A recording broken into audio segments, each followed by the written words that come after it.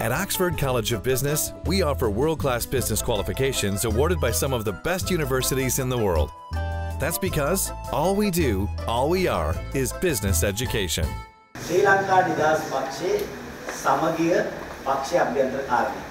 ඒ ගැන අපි අදහස් දක්වන්න යන්නේ නැහැ. අපි දකිනවා මේ ශ්‍රී ලංකාවේ නායකයන්ට මහින්ද මහත්තයා මතක් වෙන්නේ නැතිවරණ සමීප වුණා. නැතිව චාටු බස් කිය මහින්ද මහත්තයාව ප්‍රදර්ශනය කරලා ඡන්ද ටික අරගෙන ඊට පස්සේ මහින්ද මහත්තයාට ඉතාම නින්දිත අයුරින් දැනවැදීම තමයි පහුගිය කාලේ ශ්‍රී ලංකා නිදහස් පක්ෂ නායකයන් විසින් සිදු කළේ.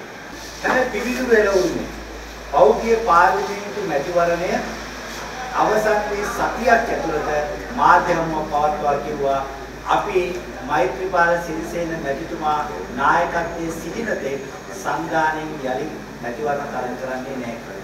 එතකොට කුංචි ඡන්දේ අපි සමගියලා තරඟ කළොත් මහින්ද මැතිතුමාගේ සරණෙන් මේ සංගාණය ජයග්‍රහණය කරා. ඊට පස්සේ අර ජාතික ලැයිස්තුවට සිදු වුණු දේ නැවත සිදුවීමේ අවධානමක් තිබෙනවා.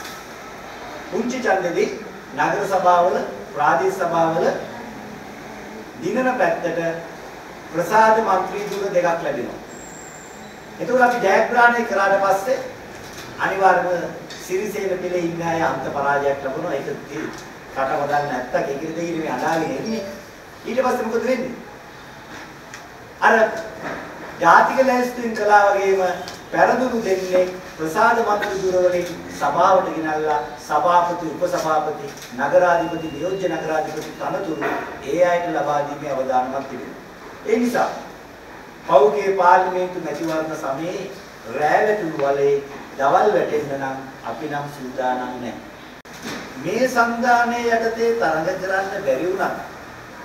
අගමැතිතුමාගේ රට විකිණීමේ වැඩපිළිවෙල ජනාධිපතිතුමා ඇත්තටම විරුද්ධ නම් අපිට අලුත් සංධානයක් බී කරන්න පුළුවන්. මොකද මේ ඊළඟ මැතිවරණය වනතුරු මේ ආණ්ඩුවට යන්න ඉඩ දුන්නොත් අපිට ඇවිල්ලා බාර ගන්න රටක් ඉතුරු වෙන්නේ නැති බව මේ යන විදිහට අපිට පේන නිසා.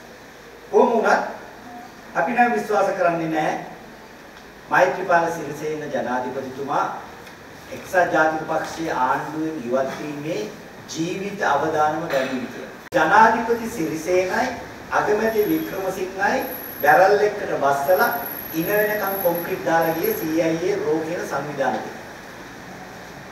දැන් උඩුකය නිදාසු තියෙන නිසා දෙන්නට රණ්ඩු වෙන්න පුළුවන්. හැබැයි යටිකය කොන්ක්‍රීට් දාලා හිර කරලා තියෙන නිසා දෙන්නට වෙන්න වෙන්න බෑ.